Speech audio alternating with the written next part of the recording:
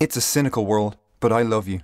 You complete me. Shut up. You had me at bok, bok, bok. You can't separate what's meant to be together. That's why Burger King have brought chicken and fries together again.